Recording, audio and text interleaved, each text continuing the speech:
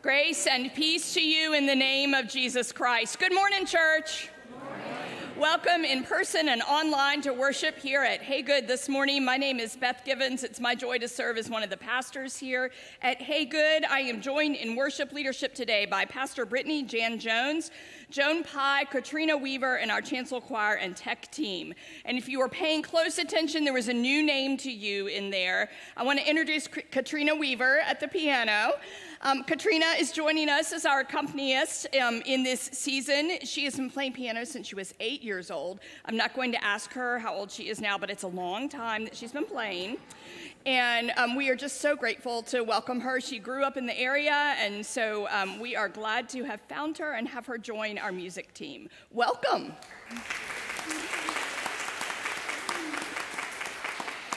If this is your first time with us today, we extend a warm welcome to you. There are connect cards in the pew racks in front of you. You can use those to let us know that you're here today. Um, there's a QR code on one side, or you can complete information on the reverse and place it in the offering bowl that's out in the lobby. Also, in the lobby are printed copies of our email and other um, things that will tell you a little bit more about Haygood and our ministries here. Um, the month of October is a busy month. Please mark your calendars for October 14th when we host the Bayside High School tailgate and um, for their pre-homecoming festivities, and Saturday, October 28th when we will hold a fall festival and trunk or treat. Uh, Pastor Brittany has an announcement about children's ministry volunteers. And a hush goes over the room. All right, who's helped with children's ministry before? Raise your hands. Okay, not bad. All right. Once a month. Can someone do once a month?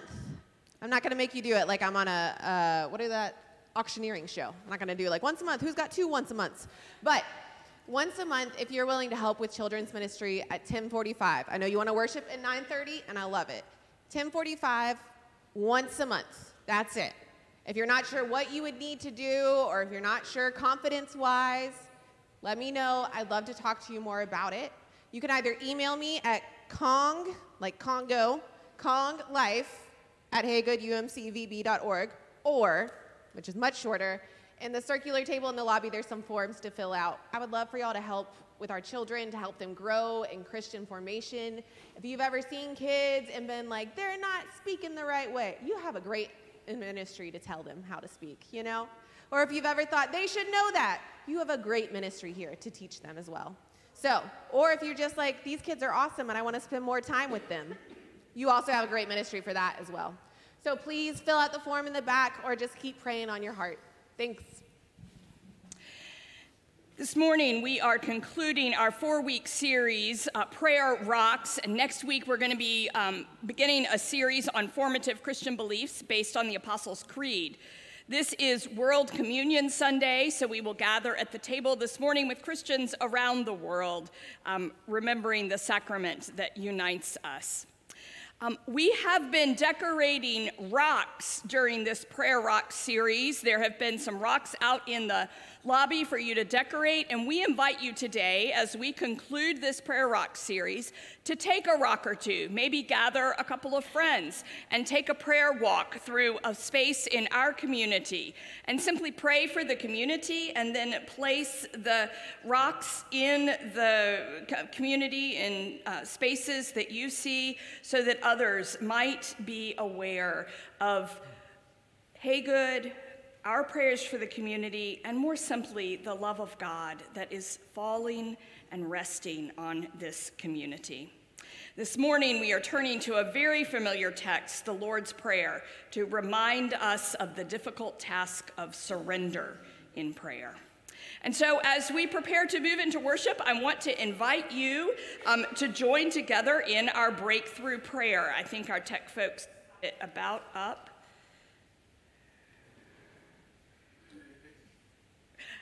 Will you pray with me?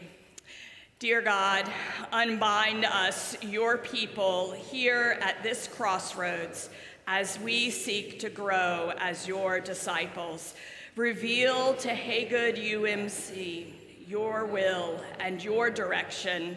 Teach us how to welcome and care for others, serve you, and share your good news with our community.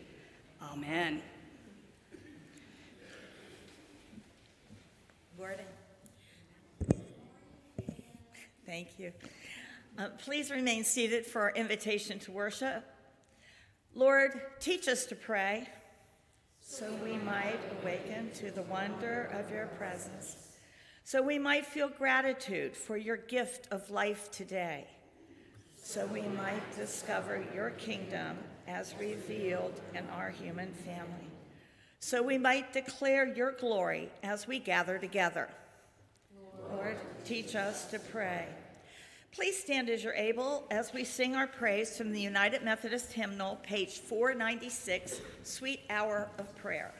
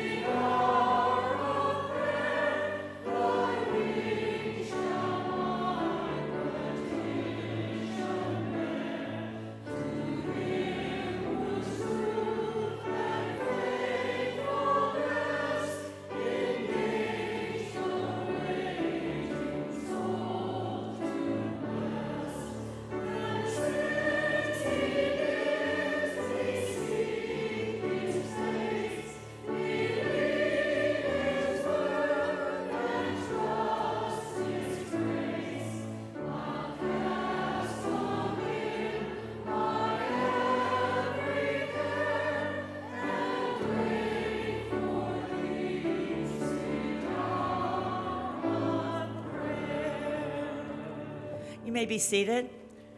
I invite the children to come forward for a time with children with Pastor Brittany.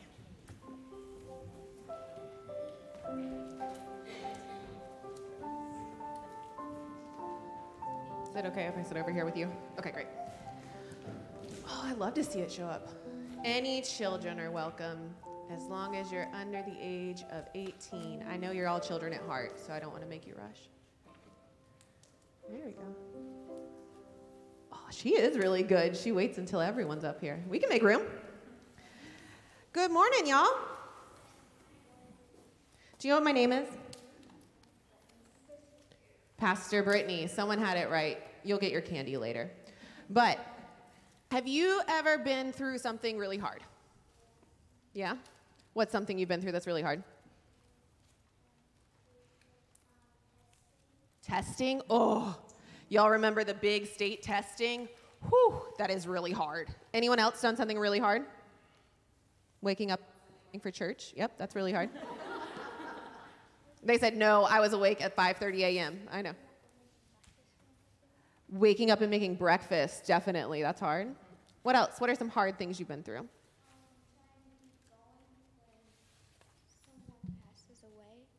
Yeah, trying to keep going when someone passes away. That's the hardest. That's the hardest.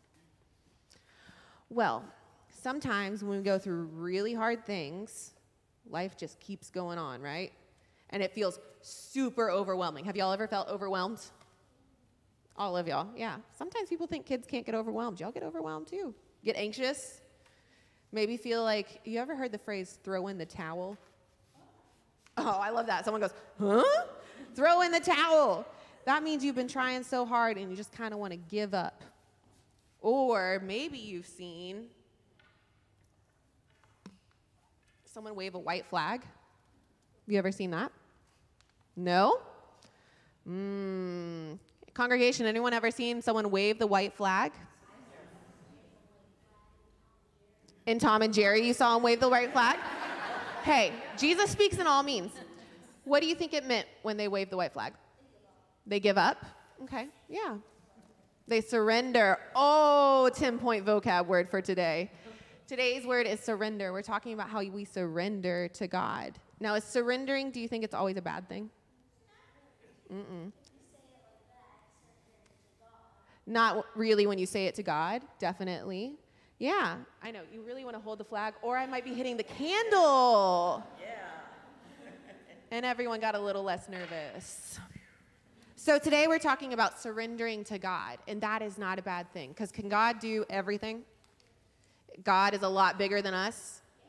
So sometimes when we're surrendering, we're surrendering to someone who's more powerful who can fight for us. And that's a pretty big deal.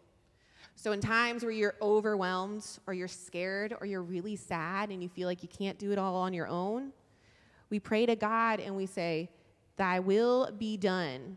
You ever heard us say the Lord's Prayer and it says, Thy will be done? And it sounds like an old school book. Yeah. Thy will be done just means, God, I'm putting it in your hands. God, I can't fight anymore. Will you fight for me?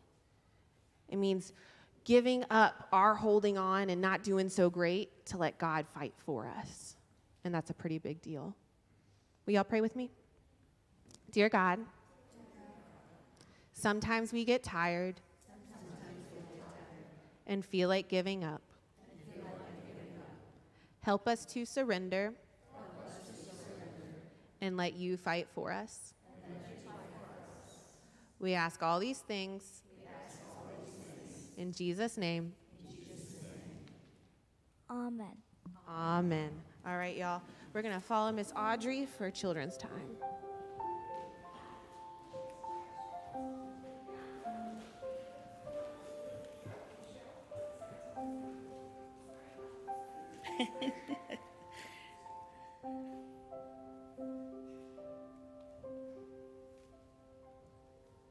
Please join me in the prayer of confession and assurance of pardon.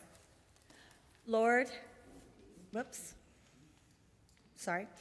Lord, teach us to pray so we might forgive those who have wronged us, so we might lead free from pretense and hypocrisy, so we might trust your perfect plans and not replace them with our own so we might love you with our whole hearts and love our neighbors as ourselves, so we might always know your merciful forgiveness. Lord, teach us to pray. Our gospel reading comes from the book of Matthew, chapter 6, verses 9 through 13. Pray then in this way Our Father in heaven, may your name be revered as holy. May your kingdom come. May your will be done on earth as, it, as in heaven. Give us today our daily bread, and forgive us our debts as we also have forgiven our debtors. And do not bring us to the time of trial, but rescue us from the evil one. For the word of God in Scripture, for the word of God among us, for the word of God within us, Thanks, be to God. Will you join your hearts in prayer with mine? Come, Holy Spirit, speak through these words of your word that Jan has shared. Come, Holy Spirit, speak through the words that I will now share. And come, Holy Spirit, and speak through our minds and hearts. That in this time of proclamation, you might reshape us to look more like Christ.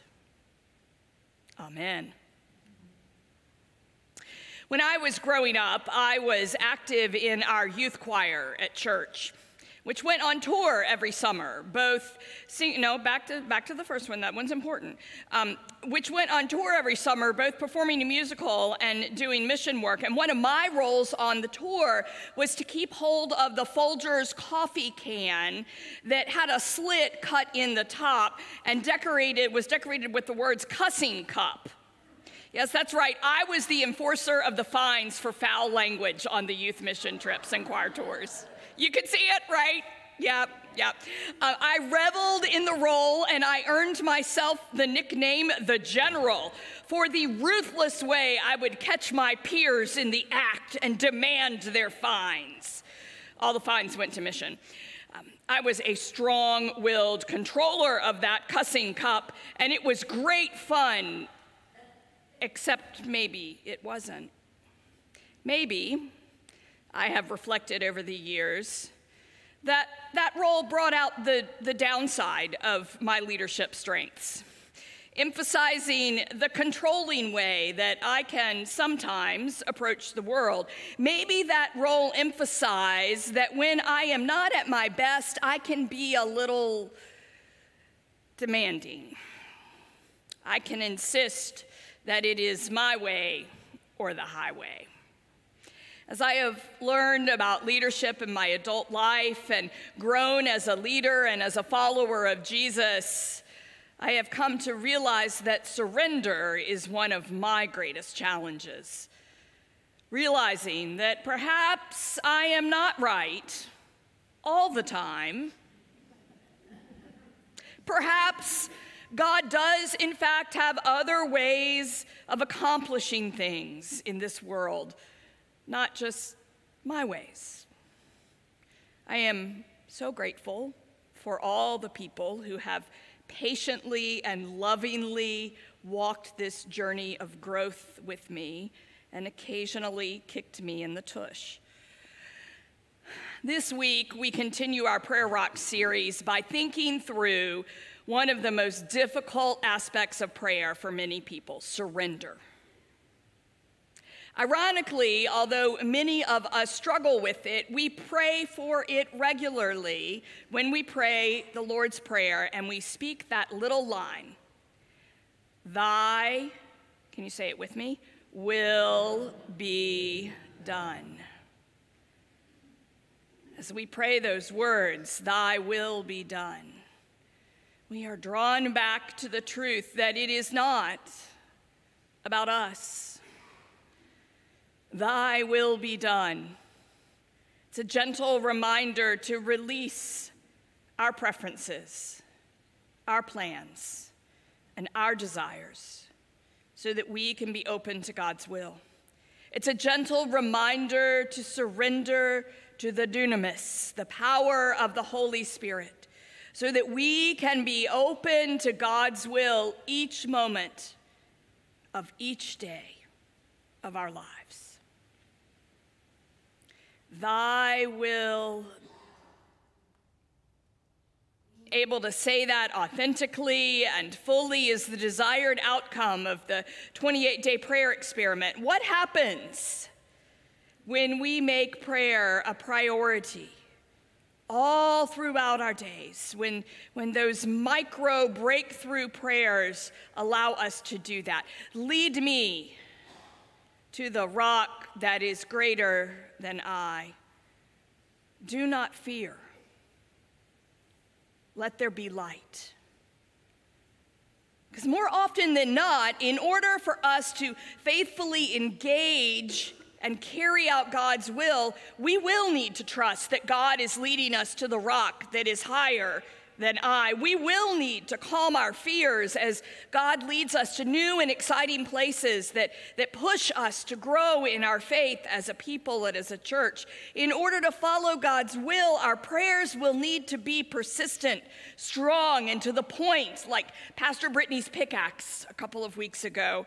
In order to follow God's will, we will have to release more of ourselves to allow God to fully move into our home our territory. Today's prayer, Thy will be done, keeps us accountable, keeps us focused on God's hopes and dreams for our lives and for this church. Thy will be done is not resignation, that after trying with all your might to carry out your plans, your ideas, your ways, you turn to God's will as a last resort. Rather, thy will be done is opening our hearts and souls at the very beginning to the power of our Lord and Savior to do the work that only God is capable of doing. Thy will be done is dying to our desire for our lives, dying to our fears, our self centeredness, and trusting that the one who created us knows what is best for our lives. That the one whose church we gather in knows what is best for the body of Christ. In our breakthrough prayer, we pray for the same sort of surrender. Reveal to Haygood UMC your will and your direction, not our will, not our desires, but God's. Sue Nilson Kibbey reminds us that this sort of prayer isn't advising God or instructing God for any particular outcome, since it's not humanly clear what the best outcome or next step should be. Rather, it is simply and repeatedly presenting the current outcome to God and asking God to completely use and transform it for God's miraculous use. My hope and prayer for all of us is that we become a people who are grounded in this sort of prayer, that each and every moment of each and every day we are trusting the Lord, seeking God's will, and courageously living into it. When that happens, I know without any doubt that we will experience peace. The unmistakable peace of Christ that will ground us and get us through all the days of our lives. I also know that when we as a church family can be praying, Thy will be done, Thy will be done, and surrendering our church and our ministry to God's will, extraordinary things will happen, and God's kingdom will come. It will be able to be seen right here in us and in our community. In the name of the Father, and the Son, and the Holy Spirit. Amen. As we think about how our gifts make a difference and how we connect with our community, I want to tell you about a ministry that we sort of share with Virginia Wesleyan University and that is that on the fourth Sunday of each month, Virginia Wesleyan Marlin Ministries, directed by Marie Porter, invite youth from all over the area, not just Haygood, but from all over, Eastern Shore and down here uh, in uh, Chesapeake and uh, Virginia Beach to come to Virginia Wesleyan for a night of praise and worship and fellowship with other youth groups. Um, that happens during the school year. It started up again last week. There are some pictures of that in the Beacon this week. That is one of the ways that we connect with our community and share God's love in our community, not just at Haygood, not just at Virginia Wesleyan, but throughout the area. Your gifts make that happen. Your gifts make a difference. You may give financially to Haygood online in the offering bowl that is out in the lobby or by mailing a check to us. As we begin to turn to the table this morning, um, I want to lift up just a couple of congregational concerns um, that I'm aware of. Uh, we have two members in the hospital, Brian Foreman and Pete Kundrat, hospitalized for different reasons. And so um, let's just pause for a moment and lift them in prayer. Oh God, we lift up to you Brian and Pete and others in our community and this world in need of your healing. We ask that you would pour out the power of the great physician into their bodies, their minds, their spirits, and bring them full and complete healing. Amen.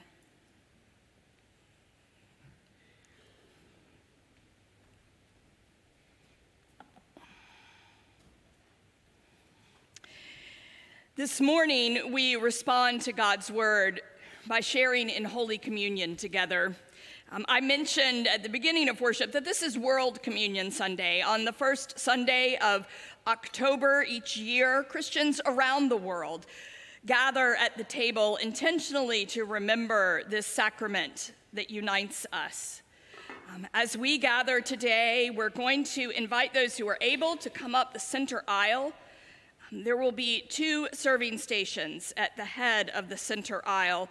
We invite you to receive a piece of bread from the server and then to take it, and you get to choose. You can either dip it into the cup and consume it by the method of intinction, or you can eat it and then take one of the smaller cups that will be in the tray that will be held by the servers.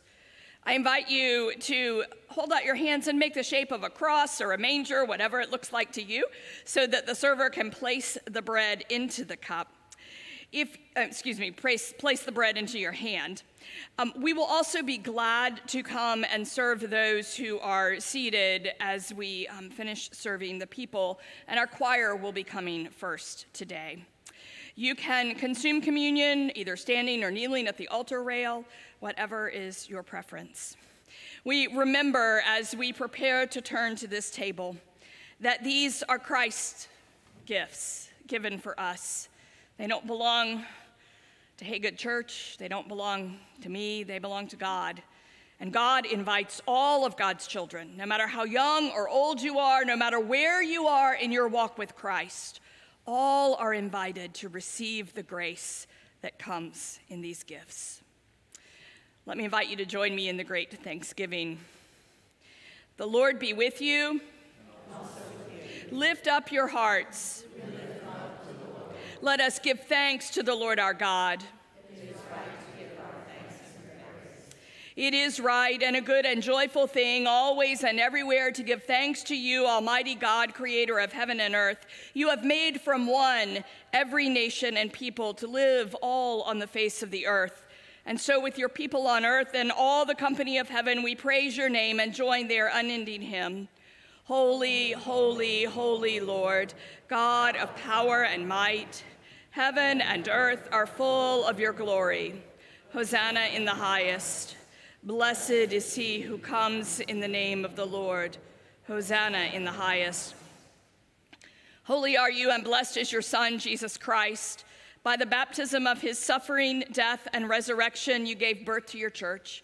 You delivered us from slavery to sin and death and made with us a new covenant by water and the Spirit. Christ commissioned us to be his witnesses to the ends of the earth and to make disciples of all nations. And today, his family in all the world gathers at his holy table. On the night in which he gave himself up for us, Jesus gathered at table with his friends took bread, gave thanks to you, broke it, and blessed it, and gave it to them, saying, Take, eat. This is my body, which is broken for you. Do this in remembrance of me. And when the supper was over, he took the cup, gave thanks to you, and shared it with them, saying, Drink from this, all of you. For this is my blood of a new covenant poured out for you and for many for the forgiveness of sins. Do this as often as you drink it in remembrance of me. And so, in remembrance of these, your mighty acts in Jesus Christ, we offer ourselves in praise and thanksgiving as a holy and living sacrifice in unison with Christ's offering for us as we proclaim the mystery of faith. Christ has died, Christ is risen, Christ will come again. And so pour out your Holy Spirit on us gathered here and on these gifts of bread and wine Make them be for us the body and blood of Christ, that we may be for the world the body of Christ, redeemed by his blood. Renew our communion with your church throughout the world. Strengthen it in every nation and among every people to witness faithfully in your name. By your Spirit, make us one with Christ, one with each other, and one in ministry to all the world until that day when Christ comes in final victory and we feast at his heavenly banquet.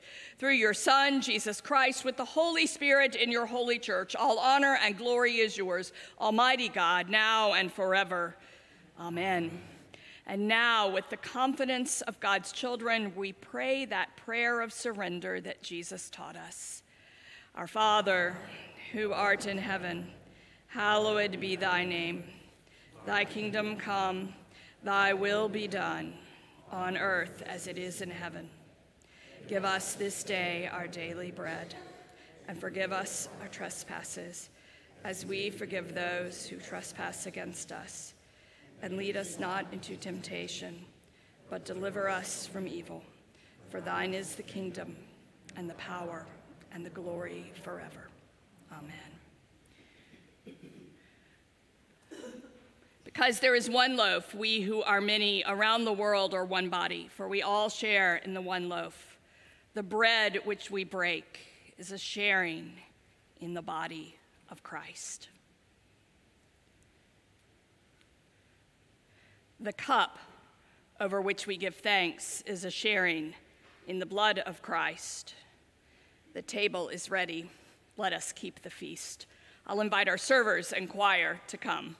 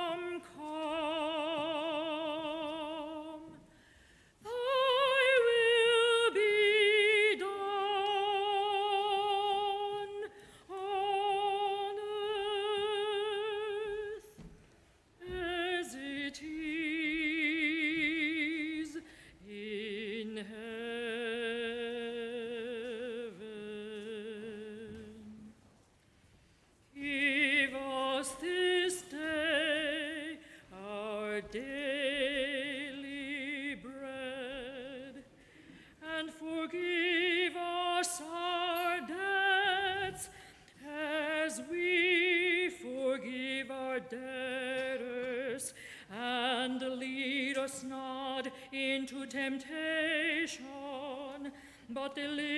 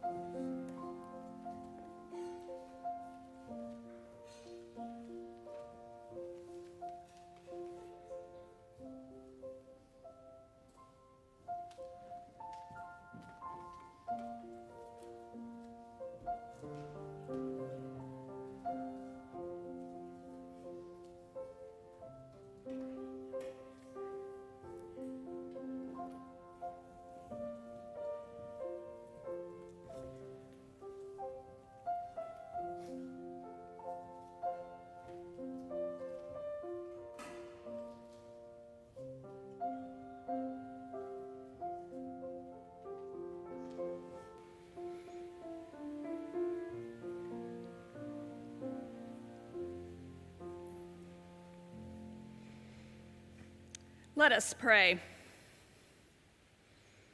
Oh God, we give you thanks for this holy mystery through which you have given yourself to us. As we have been fed by the mystery of your grace, send us out into the world now, surrendering to your will to be love and grace to all we will meet.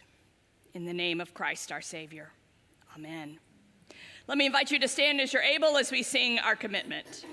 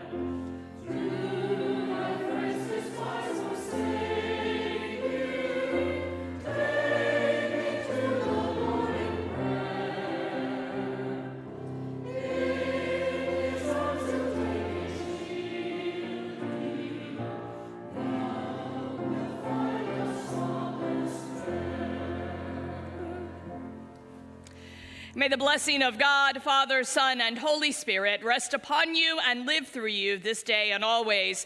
And all God's people said.